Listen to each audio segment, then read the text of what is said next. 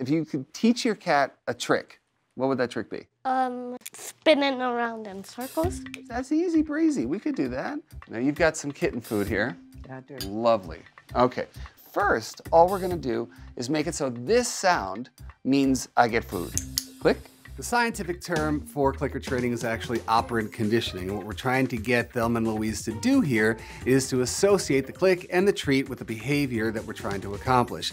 The key is that between the clicker and the treat, it has to be one second because then the cat goes, oh, that sound means I did something right. There it is. You see what happened there? She heard it and she's like, wait, food. Let's see if she'll do this. And then as soon as she makes this circle, click, treat. That's it. That's all you gotta do. If you do this three days in a row, let's say, do it for five, ten minutes at a time, done. They're trained. Done. And then you're gonna be able to use the word, spin or turn or whatever. Okay. One step at a time. Now, cats doing tricks like Thelma spinning is fun, but I'm hoping that Calvin eventually takes clicker training to a deeper level down the line, like getting into a carrier. This is gonna be magical, buddy. Jackson teaches me that you just click and feed the cats.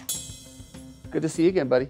Good to see you too. All right. Take care. You It was too. great to Thank see you. you very All right. much. Take care, guys. Every time I look at these two kittens, I think about the trip they've been on. And now knowing they've got each other for the rest of their lives and they've got Calvin, I mean, come on. We're standing here in the mountains with these two kittens who could have been dead in the streets of Los Angeles.